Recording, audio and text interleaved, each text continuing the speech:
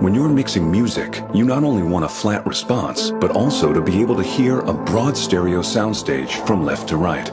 Due to its coax design, the FX80 achieves this difficult task. But where the FX80 further shines is in its imaging and the depth of field it also creates from front to back.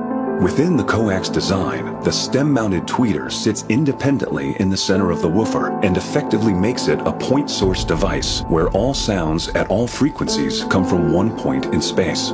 This dual concentric nature gives it an almost perfectly symmetrical off-axis response. This is the FX80, our next generation studio monitor for producers, engineers, songwriters, and musicians, now available worldwide from Fluid Audio the FX80 Near Field Studio Monitor from Fluid Audio. For more info, check out fluidaudio.com.